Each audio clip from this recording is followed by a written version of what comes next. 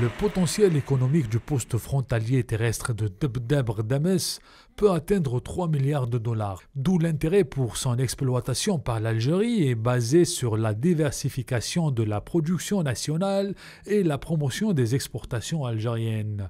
Les échanges commerciaux avec l'ouverture de ce passage frontalier pourraient atteindre 3 milliards de dollars contre 65 millions de dollars actuellement, dont 59 millions de dollars d'exportation algérienne vers la Libye. 3 milliards de dollars que j'avais annoncé précédemment, c'était un objectif sur deux ans, trois ans. Pas euh, pas, donc, ça sera à horizon donc, 2025, les 3 milliards de dollars.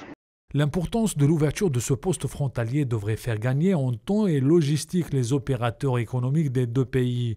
Les marchandises algériennes entreront directement en Libye sans devoir faire le transit par la Tunisie.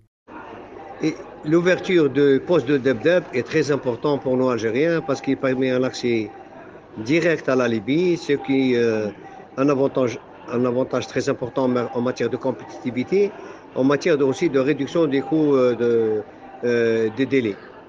Ça, c'est une avancée très importante.